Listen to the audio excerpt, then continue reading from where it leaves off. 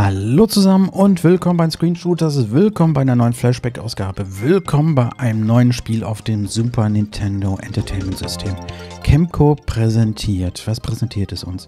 Top Gear, hier wird es jetzt so langsam eingeblendet, oder auch Top Racer, wie es in Japan heißt.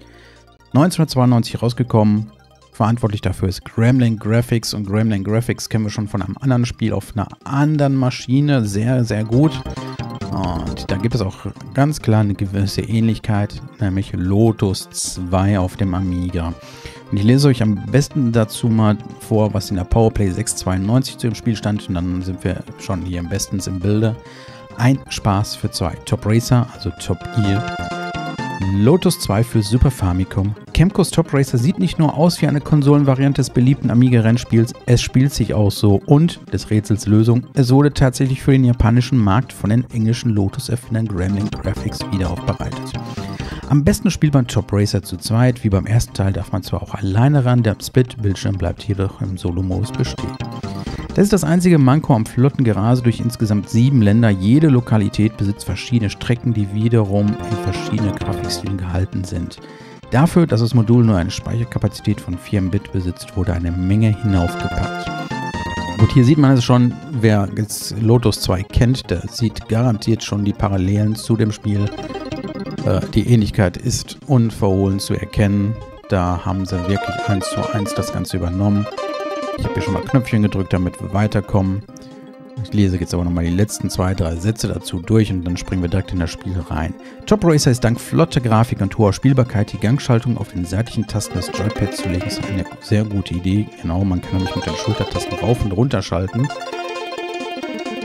Eines der besser, besten Konsolenrennspiele. Nur das Sound ist etwas müde, aber das kann echte Bleifüße nicht vom Gas geben abhalten. So, und zählt es auch nicht ab. Wir springen jetzt sofort mal in das Spiel rein. Ein Spieler, klar. Achso, die Bewertung. Grafik 70, Sound 52, Schwierigkeit ist einstellbar. Genau, das sehen wir auch jetzt gleich. Gesamtbewertung 72%. Ja, das war die Powerplay 692. Wir springen jetzt hier mal rein. Hier Skill Level, das ist nämlich der Schwierigkeitsgrad, logisch. Amateur, Professional, Championship. Wir bleiben bei Amateur.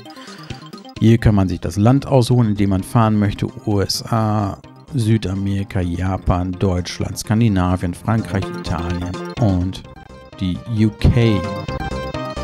Die Anzeige der Geschwindigkeit in Kilometer bzw. Meilen per Stunde. Und hier unten das Spiel starten. Wir springen mal kurz hier ran. One Player. Hier können wir nämlich dann nochmal ganz kurz unseren Namen eingeben. Das machen wir auch ganz artig. Wir sind ja nicht nur ein namenloser Spieler. MW, das bin ich. Start. Auswählen darf man Handschaltung oder Automatik. Ich nehme Automatik. Und hier, das finde ich persönlich ganz wichtig, wie man das Joypad hält. Einmal so, einmal so, einmal gedreht und dann wieder die entsprechenden Knöpfe belegt sind. Hier hat man noch eine Variante. Ich entscheide mich für die Variante, wo die Beschleunigung unten auf B ist die Bremse auf Y auf dem grünen Knopf. Das ist für mich persönlich die bessere Steuerung. Hier haben wir dann noch vier verschiedene Fahrzeuge, die sich in ihrer Topgeschwindigkeit unterscheiden, wie sie auf Topspeed kommen, also 0 auf 100 bzw. 0 auf 60, da wir gerade auf Meilen per Stunde sind. Wie gut die Reifen greifen, Low hier, hier High, hier Nummer mit und Low und wie stark sie den Sprit schlucken. Gucken wir mal, 137 Mal, er braucht 4,3 Sekunden auf 0 auf 100. Ich würde mal den weißen hier nehmen. Er ist zwar nicht der schnellste. Low mit High. Er hat aber sehr guten Grip. Bam. Nehmen wir. Wir stellen die Geschwindigkeit um auf Kilometer per Stunde. Und dann springen wir mal selber jetzt hier in das Spiel rein. Das ist die Strecke, die wir fahren dürfen. Da habe ich schon Knöpfchen gedrückt. Jetzt das Splitscreen. Oben sind wir, unten der Computer. Links oben wird der Kurs dargestellt. Und dann haben wir da drunter N mal 3 ist Nitro. Drei Nitros haben wir. Da drunter die Gänge. Auf der rechten oberen Hälfte Hälfte, ja. Hälfte, Hälfte von, von dem Splitscreen. Bam, bam, bam. Ist unsere Drehzahl und wie schnell wir fahren. 199 km/h. Fliegen wir also gerade schon über die Straße. Die Rundenzeit. Unser Platz wird immer wieder eingeblendet. Fünfter Platz, zwei Runden noch übrig. Und dann sieht man auch unklar, äh, unschwer zu erkennen, nicht unklar, wie unser Tank gerade aussieht. Das nimmt natürlich beständig ab. Aber da machen wir uns jetzt gerade noch keine Sorgen drum. Das ist alles noch im grünen Bereich. Und dann wird da auch nochmal unser aktueller Platz angezeigt. Second, zweiter Platz. Das könnte sich aber ändern. Wir sind jetzt an der ersten Stelle. Ich gebe mal Nitro. Let's go, yes. Jo, bei Let's Go, da zimmern wir natürlich sofort einem hier in das Heck rein. Ja, diese Fahrzeuge, die sind einfach mal ein bisschen Füllwert. Die steuern, die steuern einfach nur und sollen verhindern, dass wir sauber durchkommen. Aber lassen wir uns nicht von abhalten. MW, erster Platz. World Ranking. Momentan 20 Punkte, erster Platz. So, hier ist die nächste Strecke. Los Angeles, USA. Da sieht man die kleine Strecke jetzt ein bisschen kurvenreicher. 2,4 Kilometer, 1 Minute 51, 50 Sekunden ist der Rundenrekord. Gucken wir mal, ob wir da selber irgendwas dran machen können. Ich gebe Gas. Ich gebe Gas, ich gebe Gas. Mein Lamborghini fährt 210. Was? Nee, mein Maserati was. Ist egal. Das ist schon lange her, dass das Lied aktuell war. Ich muss mich nicht mehr zwingend dran erinnern, auch wenn das mein Namensvetter war. So. Ein bisschen auf das Renngeschehen konzentrieren. 17. Platz. 15.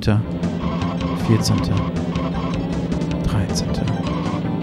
Ja, wie bei Lotus startet man auch immer fein von den hinteren Rängen und darf sich dann sanft nach vorne ziehen.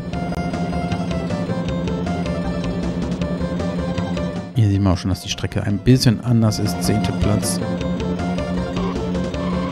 Mal gucken. Oh, ich dachte, ich komme irgendwie zwischendurch. Arg. Ja, genau, arg. Weil die Kommentare zwischendurch, die sind echt witzig, ne? Also manche. Haben sie irgendwie nett gemacht. Geh weg, lass mich durch. Schaden am Fahrzeug gibt es nicht. Also ich kann jetzt hier munter wegrammen, was was wegzurammen ist. Bisschen Stoff hier. Kann ja nicht sein, dass wir hier weiter hinten sind. Zweiter Platz. Das sieht doch schon mal wesentlich besser aus. Oben auf der Karte ist ein Punkt. Das ist der Computergegner, beziehungsweise da müssen wir jetzt noch mal ein bisschen ran.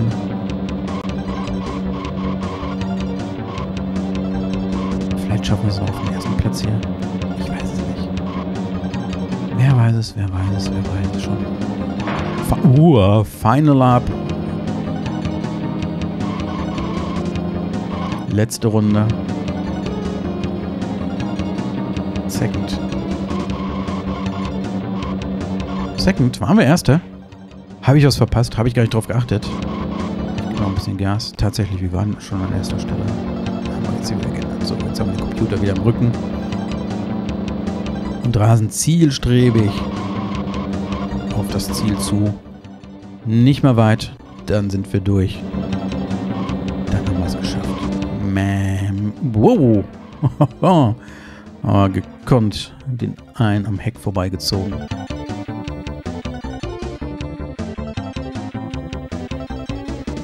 20 Punkte. Wieder erster Platz. World Ranking 40. Der Computer ist auf 30 mit 30 Punkten weiter. Aber schauen wir mal. New York.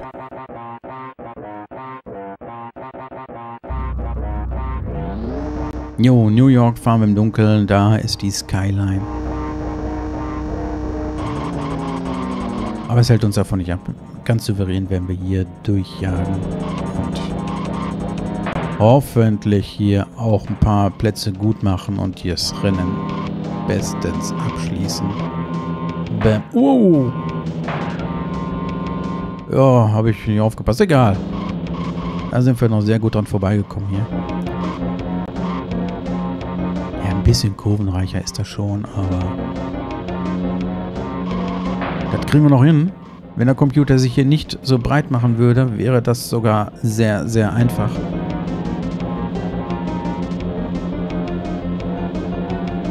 Tut er. Die olle Sau. So. Der Scheinwerfer reicht nicht sehr weit, aber die Straße ist zum Glück ja so ein bisschen zu erkennen. Ganz so dunkel ist es hier nicht. Und auf den Geraden können wir so ein bisschen die Skyline hier auch in vollen Zügen genießen. Let's go! Da ist der Nitro wieder eingeschaltet. Und hier, erste Platz. Hier, so soll es sein, Leute. So muss es sein. Wow, wow, wow.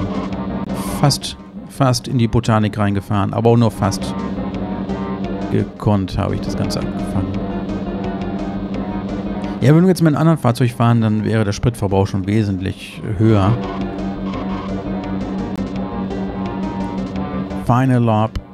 Da hat uns der Computer hier wieder eingeholt. Let's go. Bam.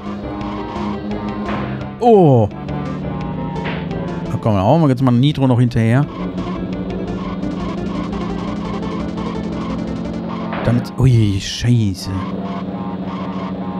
Ey, das, das macht er doch extra, oder? Der hat sich extra dann vor uns gesetzt, dass wir da einmal gegenzimmern. Er weiß, dass jetzt bei dieser Kiste die Beschleunigung nicht so astrein ist. Das wird eine enge Nummer. Das wird jetzt eine enge Nummer hier. Könnte... Könnte... Nein! Könnte nicht mehr klappen. Egal. World Ranking. Wir sind immer noch vorne, aber er hat aufgeschlossen. San Francisco.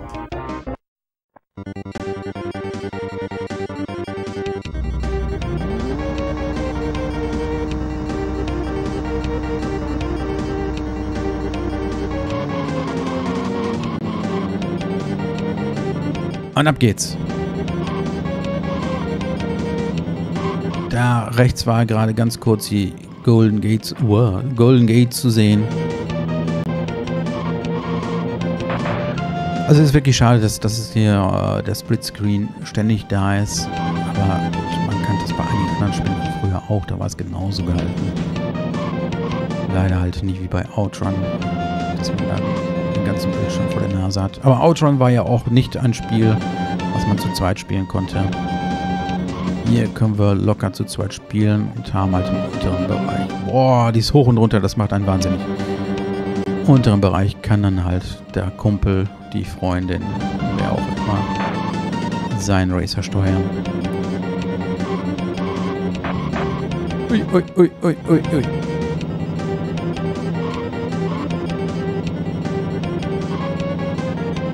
Ja, es ist wie bei Lotus. Dann kommen so nach und nach kommen halt ein paar andere oder mehr Hindernisse ins Spiel.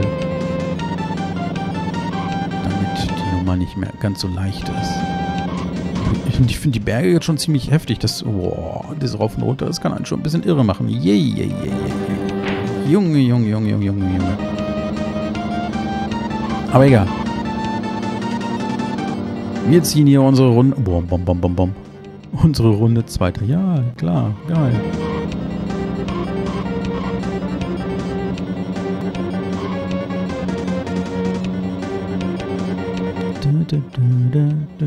Also mit, mit der Musik, das stimmt schon. Die Musik ist jetzt nicht ganz so motivierend hier.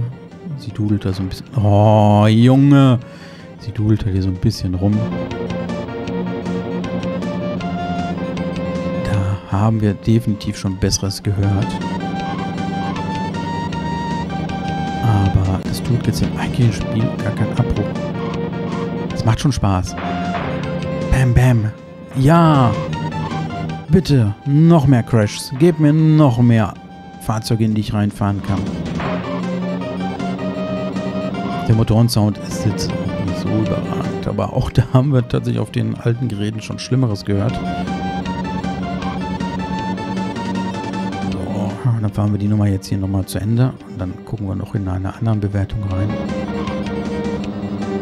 Und damit werden wir dann das Video hier abschließen.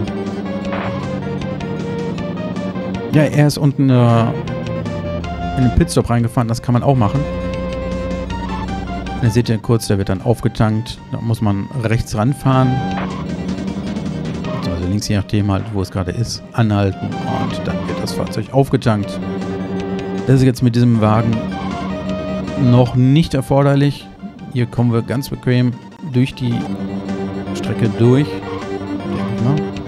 Vielleicht ist es jetzt auch eine Fehleinschätzung meinerseits. Vielleicht bleiben wir gleich mit leerem Tank stehen. Ist aber auch dann jetzt zu spät. Da muss man halt für sich selber dann so ein bisschen abschätzen, ob man dann durchkommt oder ob man dann vielleicht doch mal eben kurz ja, Fuel Low äh, einen Stopp einschiebt und so vielleicht dann auch erstmal seine gewonnenen Plätze verliert. Ich persönlich denke, wir kommen hier noch durchs Ziel. Und das ganz souverän. So, dann würde ich sagen. Ja, wir lassen das jetzt mal hier so blinken und gucken mal ganz kurz in das Fazit von der ähm, Videogame 692. Spielbarkeit und Geschwindigkeitsfeeling. Was? Oh, springt hier mitten rein, ne? So, Gesamtbewertung gut. Und wieder stürmt das Super Famicom in eine Domäne des Mega Drive. Nicht nur das Grafik, Spielbarkeit und Geschwindigkeitsfeeling die Konkurrenz weit hinter sich lassen. Top Racer bzw. Top Gear erfreut allein durch den tollen Zweispieler-Modus, der eine Menge Pep und Rasanz in den Rell-Alltag bringt. You qualified for the next country. Genau, so können wir jetzt nämlich ins nächste Land reinspringen. Unten das Passwort Moonbars. Dann kann man nämlich dann reingehen, wenn man das Ding mal ausgeschaltet hat. Wer gesaved wird hier nicht. So wollen wir den tollen Zweispieler-Modus, der in der Menge Pleb und Rasanz in den Rennalltag bringt. Die Grafik ist schnell und bringt den Spieler bei Berg- und Talstrecken das Gefühl, selbst im Flitzer zu sitzen. Auch die Steuerung ist gut gelöst. Mit den beiden seitlichen Tasten schaltet man locker und problemlos wie bei keinem anderen Rennspiel. Die Präsentation ist so durchweg gelungen und nur die Grafik hätte etwas vielfältiger und edler aussehen können. Finde ich jetzt persönlich gar nicht so schlecht hier, aber gut. Hierbei sollte man aber nicht die vielen Zoom-Stufen der Randobjekte übersehen. Eindeutiger Minuspunkt des Moduls ist der Sound, genau das wurde nämlich vorhin auch schon beschrieben.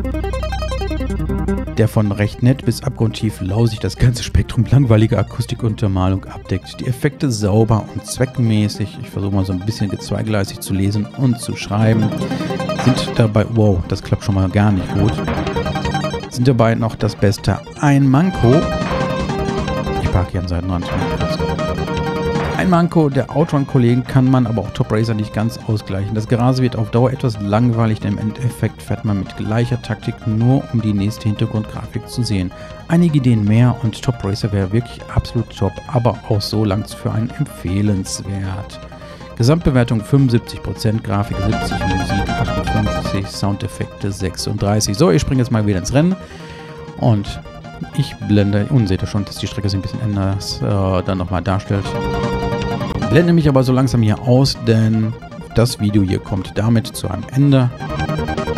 Und ich hoffe, euch hat der Einblick in Top Racer ein bisschen gefallen. Ich habe auch noch Top Racer 2, das werden wir in einem späteren Video mal gemeinsam angucken. Es gab ja tatsächlich einen zweiten Teil für Bum Bum Bum, ha, sich überlegen. Hinterlasst einen Kommentar, ein Like, ein Abo.